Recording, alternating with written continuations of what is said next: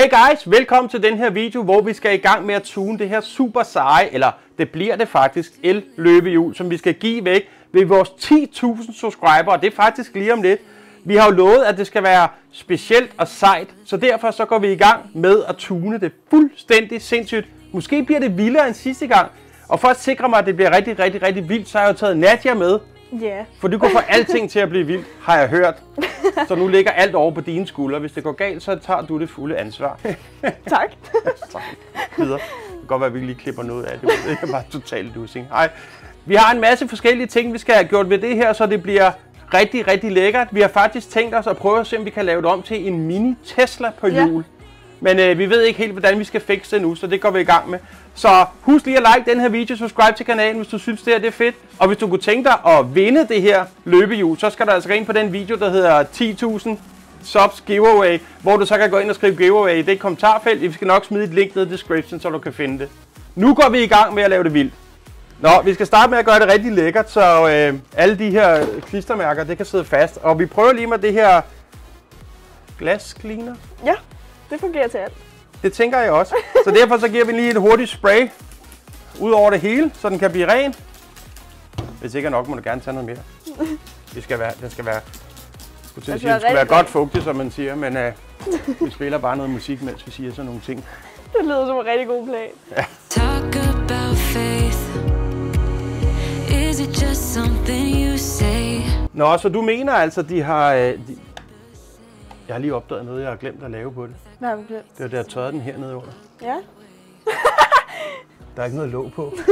Det skal jeg lige have sat på, inden øh, jeg giver den væk.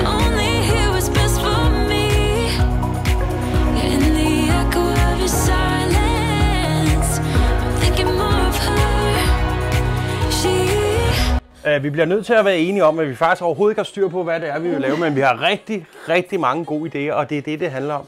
En af de ting, som vi skal starte med, det er LED-lyset, for det er nok noget af det allervigtigste på sådan en elløbehjul. Og vi har en masse klistermærker her. Og her har vi LED-lyset, magen til det, jeg brugte sidste gang. Og her der er boksen, der styrer det. Så det her skal vi på en eller anden måde have sat fast med noget superlim fra Bosch. Hattrick reklame, vi får ingen penge for det. Men en Bosch Det virker. limpistol. Det, øh, det virker sgu meget godt, men for at være sikker på, at det kan sidde ordentligt fast, så bruger vi altså den her limpistol med det her gode Bosch-lim. Øh, for ellers så skulle jeg ikke bange for, at det her klister, der sidder bagpå, det ikke, øh, det ikke holder. Men øh, det har jo alle mulige forskellige mønstre, man kan styre på den her lille controller her.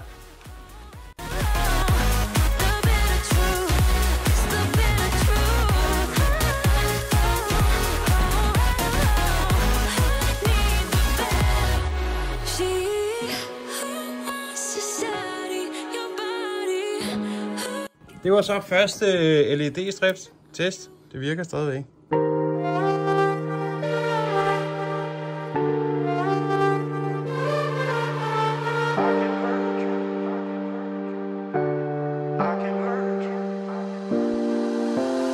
I can hurt you like you hurt me too.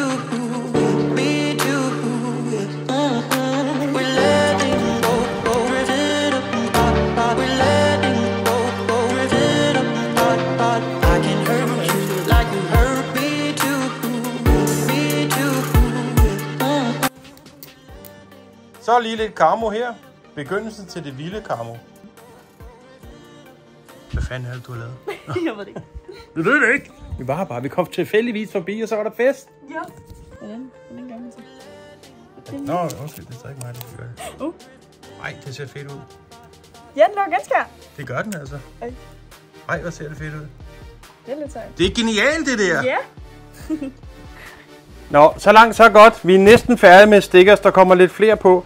Øh, men vi skal have lavet det om til en... Øh, vi skal have lavet det om til en, øh, hvad hedder det, en Tesla, ikke? Så vi skal have sat den her fast på en eller anden måde. Har du en idé til, hvordan vi kan gøre det? Jeg ved sgu heller ikke lige. Altså, vi mangler en eller anden form for holder. Vi kan nok ikke... Vi kan sætte den herop, men så kan den ikke, der kan den ikke være. Nej. Så vi bliver nødt til at sætte den her, tænker jeg. Så hvis jeg sætter en skrue igennem, hvis vi kan bore et lille hul, ikke? så kan vi sætte den fast der. Ja. Det prøver vi skulle lige. Hvis det er, så kan du kigge ind her. Se, hvor ledningen går hen. Okay, så vi kan bore hul igennem der, så den ja. Kan sidde fast. Så det er bare, så du ikke rammer ledningen. Det går ikke. Ikke så smart. Så tager vi øh, øh, det valgten, ikke? Åh oh, nej. Jo, det kan vi godt. Åh oh, nej. Ja. Men jeg tænker, hvis vi bor igennem iPad'en først, Ja. og så kan vi bedre se, hvor hullet skal være her bagefter, ikke? Så hvis vi prøver at bore cirka her, ikke?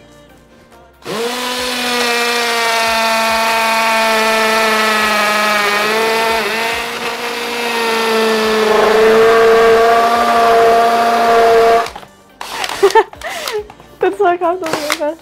Jeg havde ikke regnet med, at det var så svært bore igennem. Men den er ikke helt vejen igennem, vel? Nej, og det lugter ikke særlig godt. Hvorfor stikker det sådan? Det er fordi, vi borer ned i badet. Sådan. Hvis vi så kan sætte den... Åh, oh, nej, jeg har, nej, jeg har boret forkert, mand. Jeg har, det er Nej, det er fint nok, fordi så kommer vi lidt længere ned. På. Ja. Men det er som om, der kommer sådan nogle riser i glasset. det forstår jeg sgu ikke lige. Hvorfor? Øh, Prøv det, det er jo det er sådan, det skal se ud. det betyder ikke noget, gør det? Nej. det? Det er fordi, jeg har glemt, øh, jeg glemte, da jeg borede hul, at den skulle have haft panserglas på først. Øh, for ellers så, øh, så bliver den helt ridset. I kan se, det bliver faktisk svært nu at få, få til at sidde fast, tror jeg sgu. Måske noget gaffatape, noget lim. Vi tager noget lim. Hvis vi nu tager noget lim her, Masser.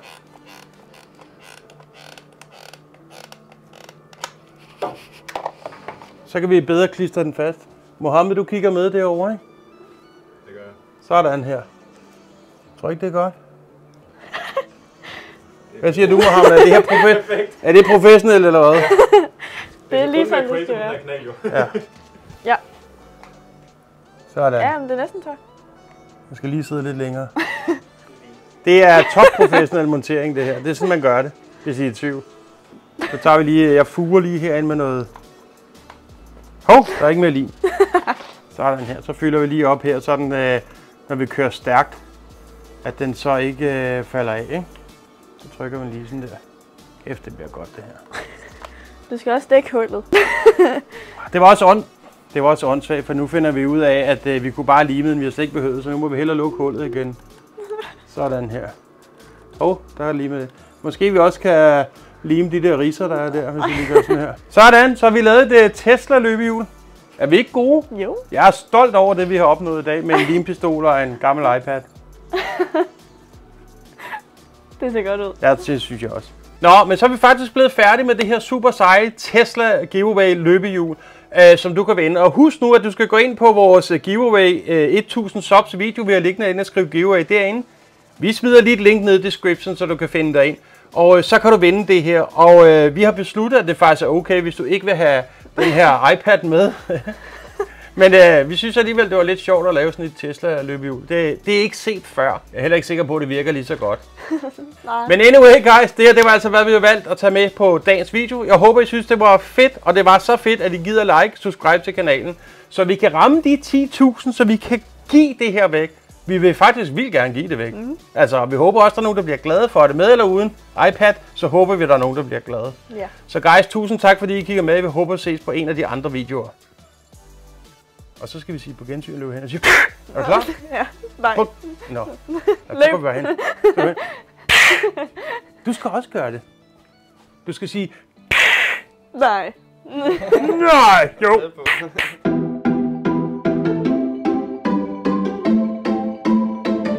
Og det er også fordi, vi skal huske at lave nogle fraklips.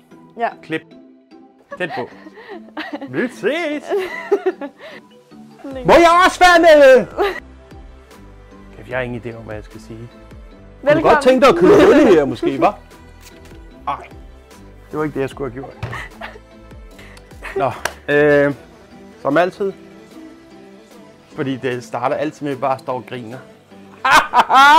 Velkommen til! Vi ved ikke, hvad vi laver. vi har stået her en time og taget os sammen. Vi mangler sådan en klap, så faktisk. Vi bliver nødt til at være mere professionelle. Ja. 3, 2, 1. Jeg, nu, jeg skulle lige til at starte, ikke? Okay, nu er vi seriøse. Hej og velkommen til den her video. Du skal lade være at grine så meget. Vi prøver igen. Two hours later.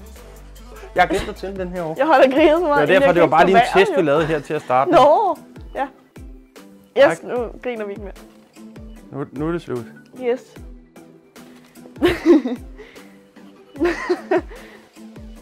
nu har vi lavet så meget fint, så nu kan jeg se hen og slukke og starte igen. Så det, det lange klip.